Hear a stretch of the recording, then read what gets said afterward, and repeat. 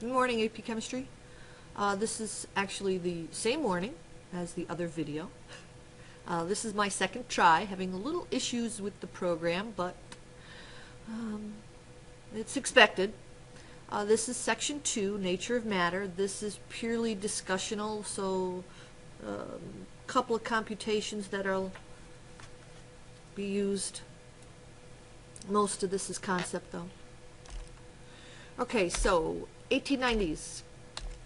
In the 1890s, physicists, which most of them are all physicists, were pretty sure that light and matter were separate entities, that neither of them shared properties. Light was pure energy, matter was mass, had no wave properties. They were distinct from each other with absolutely no overlap. They thought that matter could absorb or emit any quantity of energy, and the first guy to come along and dispute that is going to be Max Planck.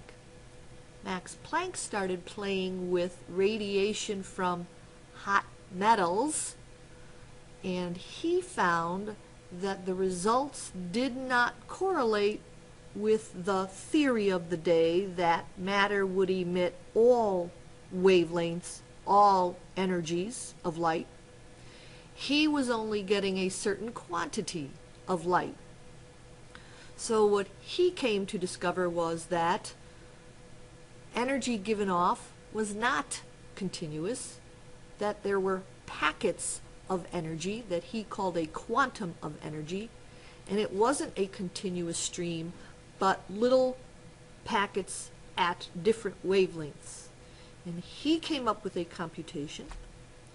And his computation is the energy emitted or absorbed can be calculated by multiplying his constant times the frequency of the light being emitted or absorbed. Planck's constant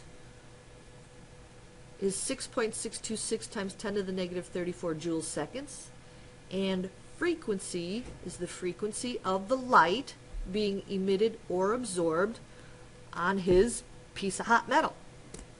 So Planck is the first guy to allude to the fact that there might be an overlap between light and particulate matter. Now, Planck and here are the symbols, and you're already familiar with frequency. This is Planck's constant.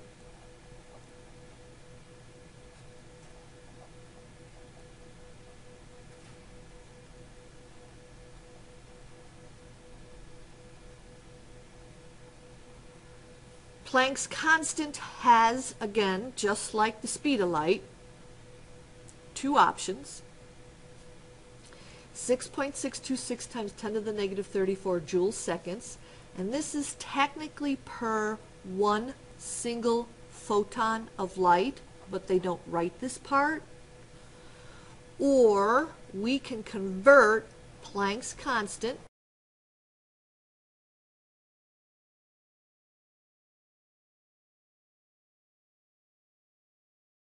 or we can convert Planck's constant to kilojoules seconds per mole, which is going to be a second option depending on the units.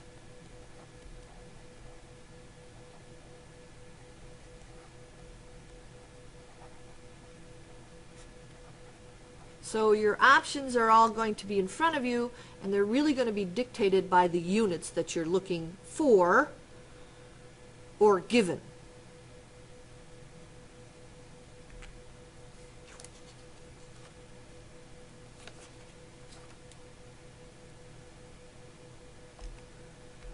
So Planck discovers that light has particular properties, and Einstein discovers that matter has wave properties.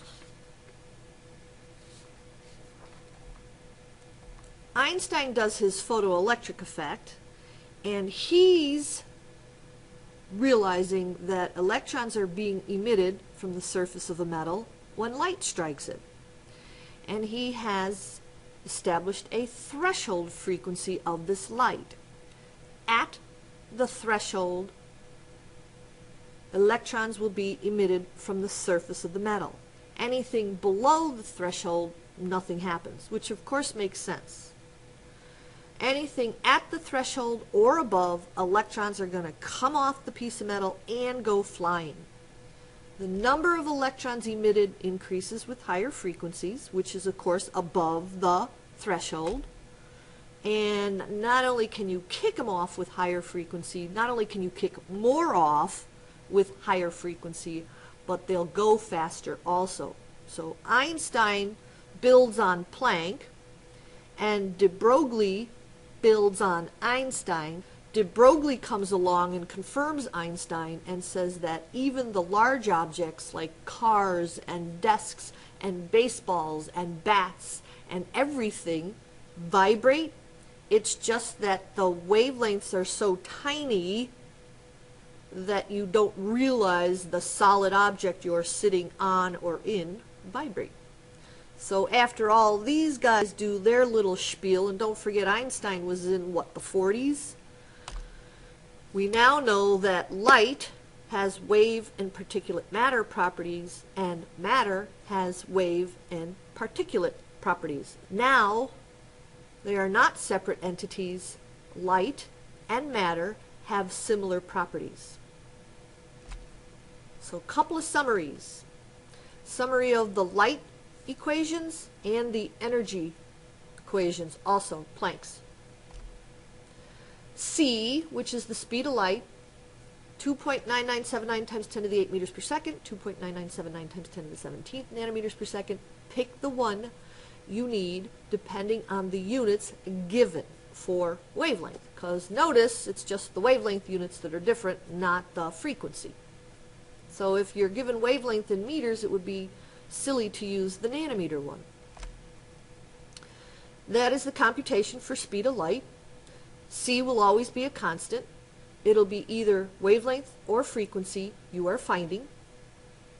Frequency is the little fancy V wavelength is the upside down y. The relationship between frequency and wavelength are inversely related. Energy, this is Planck's computation. Energy is equal to Planck's constant times frequency, but frequency is equal to the speed of light divided by wavelength. So, energy can be calculated using wavelength by hc over wavelength.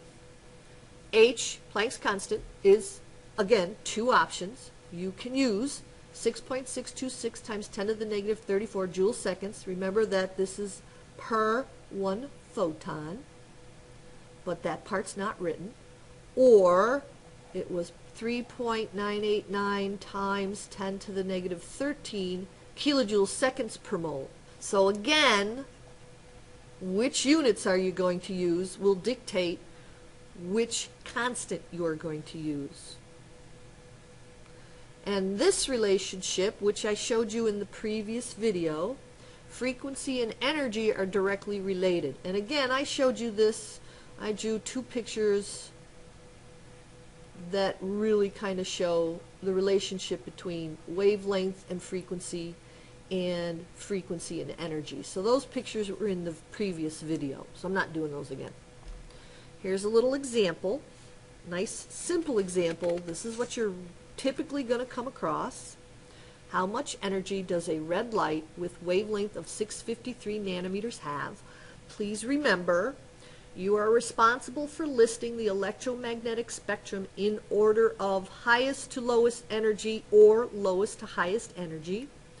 You are responsible for listing the visible portion of the electromagnetic spectrum from highest to lowest energy or lowest to highest energy and you are responsible for knowing the wavelengths of the visible light portion of the electromagnetic spectrum, which is 400 nanometers to 700 nanometers, with 400 being the violet, 700 being the red. This falls close to 653. This is in the red zone. Oh, it says red light. Duh. So I'm just going to do this example, and I'm actually going to calculate frequency too. So I'm going to do two parts to it because this is usually what you're going to come across. First part, I am going to calculate frequency of this light.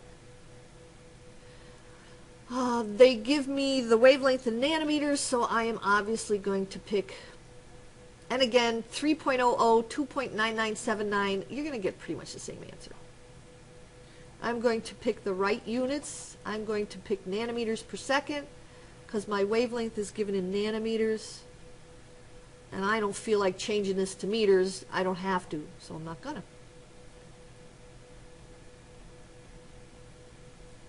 And notice that frequency again, most of your frequencies are going to be around the 10 to the 14th, 10 to the 15th range per second, which can also be 6.12 times 10 to the 14th hertz. Secondly, they wanted energy. I kind of threw in frequency on you. Energy is Planck's constant times frequency.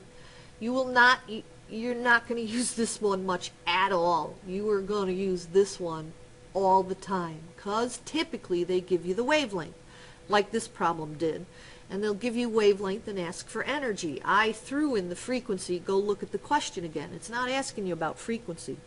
So that's just kind of, I took a side trip here. The energy of light at 653 nanometers, which is red, is going to be Planck's constant.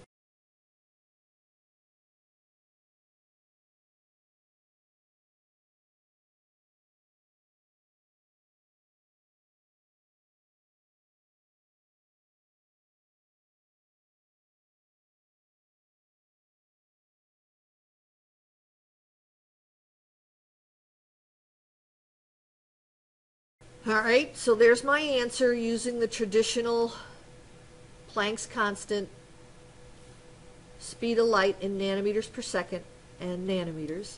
Second option, either convert this guy to kilojoules per mole, because remember this is just a single photon. Either convert him to kilojoules per mole, or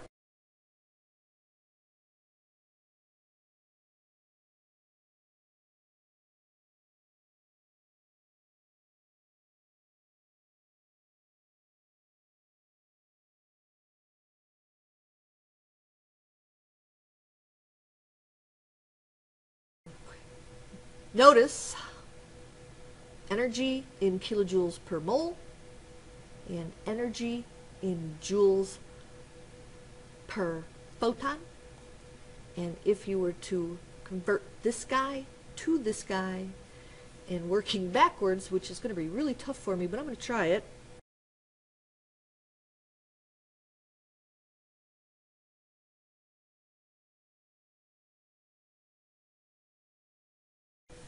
You are going to get, this is my conversion of my original answer from joules per photon to kilojoules per mole, same answer. So look this over, work it a couple of times. It's going to really come down to units. That's what's going to mess us up the most. Done with this one, on to the third video, which is gonna be